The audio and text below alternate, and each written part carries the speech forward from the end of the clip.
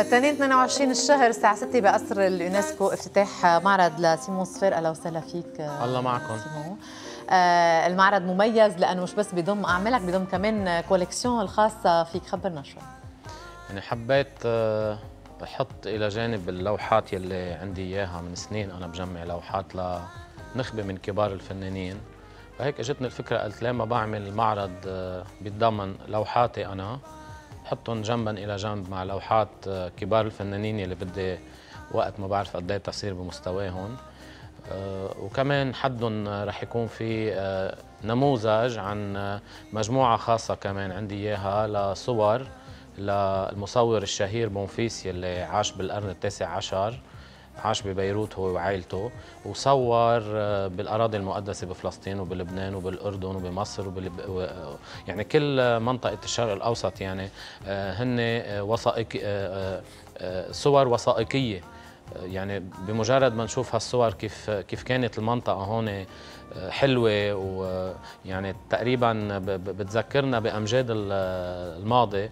ومنقارنها هلأ مع التشويه اللي عم بيصير لا سيما بفلسطين يعني أنا عندي أكبر مجموعة للأراضي المقدسة. يعني هن فيهم جمالية وبذات الوقت بحزنوا لأنه بمجرد ما بمجرد ما نقارن بين الأمس والحاضر فيها فيها هيك جرح لأنه بنعرف قبل قبل النكبة سنة 48 فلسطين كانت شيء وبعد النكبة طبعا. صارت المصيبة لكل الدول العربية وأكثر شيء للبنان يعني. فحبيت أعرضهم. سيمون حضرتك مهندس هل انتريور هل الشغل هو يعني إلى جانب عملك؟ أكيد. يعني بعدك بتعتبره آه، هواية. مش هواية يعني. أنا من من من أنا وصغير يعني كان عمري 19 سنة بتذكر أول ثلاث أربع لوحات اشتريتهم لفنان اسمه ميشيل عقل الله يرحمه كمان توفى رح أعرض كم لوحة له آه، المجموعة اللي عندي إياها هي لعارف الريس ايسر جميل مصطفى فروخ آه، جان خليفة يلي هو رشيد وهبة مارون تومب. نعم. يلي يلي بيرسم. رح نشوف لوحاتك آه، نعم. بعد شوي. بيشوف لوحات يعني الفنانين الكبار بغير طريقة غير بتعلم منهم يعني, يعني. تخيلي واقفة قدام لوحة لفنان له 50 أو 60 أو 70 سنة ميت. بعدها هي اللوحة حية وهو تحت التراب يعني. مم. يعني هاللوحة بتخلد له ذكراه يعني أنا بتمنى إنه لوحتي تبقى وأكيد رح تبقى من بعدي بس ما بعرف كيف رح تتصنف تاريخيا وفنيا. هلا عم نشوف صور لبونفيس. هن بيحكوا عن حالهم. شو حلوين. كل ما أشوفهم بدهشوني عن جديد. جمعتهم على مر الوقت أو لا جمعتهم أكبر collection اشتريتها بسنه 2005 رجعت اشتريت collection صغيرة بعدين وهذيك السنة أو من سنتين اشتريت collection يعني عم يعني تقريبا هن صاروا بحدود 160 170 أي معارض بتزور وليش بونفيس أخذ يعني هالقد؟ إنه بونفيس إنه أنا وقتها شفتهم آه، دهشوني ودفعت حقهم غالي يعني منهم رخاص لا موضوعهم أكثر من لا. موضوعهم إيه مغري آه، يعني هن كانوا collection آه، لشخصية مهمة بلبنان من قبل سنة 30 يعني. و... وأخذت كمان مجموعة gravure 100 gravure عن روما و28 gravure عن باريس. هول كلهم مجموعات كاملة يعني 100 كاملين و28 كاملين عندي إياهم. كمان رح اعرض نموذج عنهم.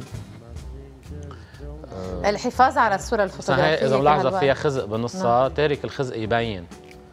الحفاظ على الصورة الفوتوغرافية كهالوقت أصلا يعني شغلة آه، إيه يعني عمرهم فوق ال 100 سنة. هو لازم آه، يعني دولتنا تهتم فيهم لأنه بفرنسا وبكل الدول الراقيه في متاحف خاصة للصور القديمة وخاصه لبونفيس له متحف بفرنسا. ناخذ وقفة ونرجع نتابع حديثنا. okay.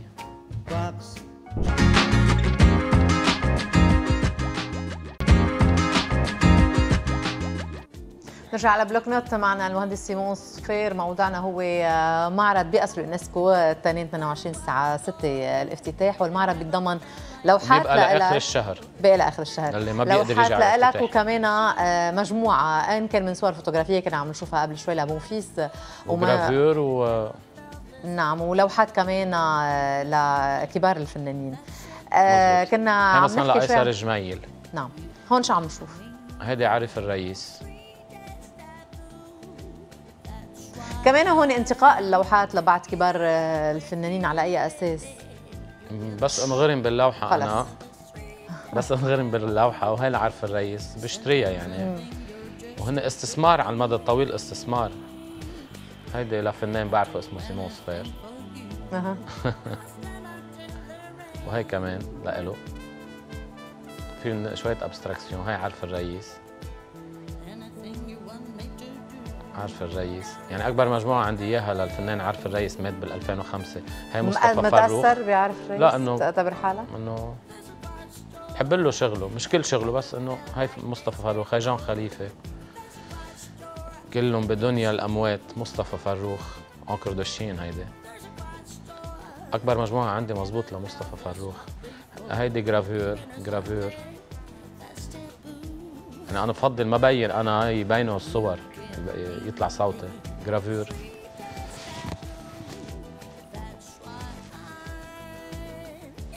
يعني ال gravure هيدي تك... تقنية قبل التصوير الفوتوغرافي. يعني عم نحكي هول فوق ال 100 سنة. تصوري هلا أنا عم تحوريني عمري فوق ال 100 سنة.